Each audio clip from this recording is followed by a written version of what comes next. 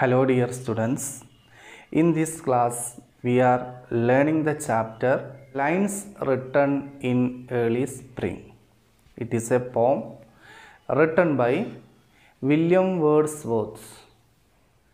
He is known as poet of nature.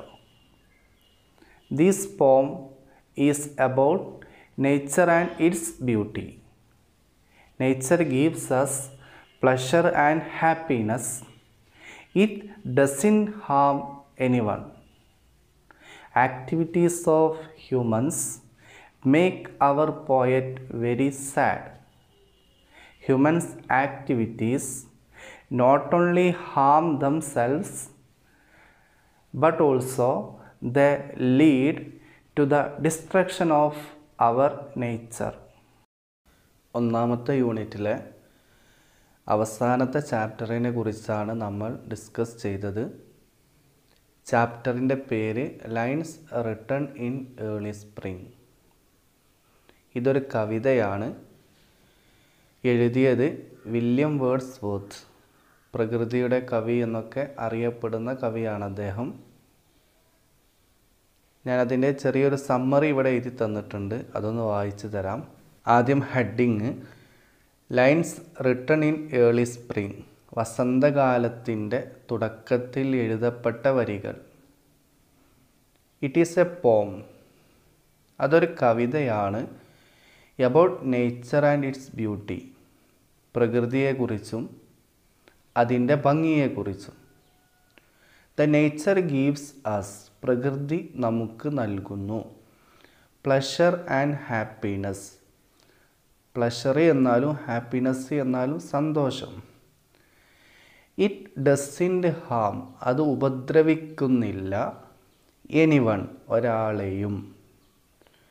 Activities of humans മനുഷ്യന്റെ പ്രവർത്തനങ്ങൾ make poet കവിയെ ആക്കുന്നു.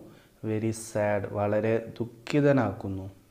ഹ്യൂമൻസ് മനുഷ്യന്മാർ നോട്ട് ഓൺലി ഹാം ദംസെൽവ്സ് അവർ സ്വയം ആക്രമിക്കുക മാത്രമല്ല ബട്ട് ഓൾസോ ഡിസ്ട്രോയ് നേച്ചർ പ്രകൃതിയെ നശിപ്പിക്കുക കൂടി ചെയ്യുന്നു.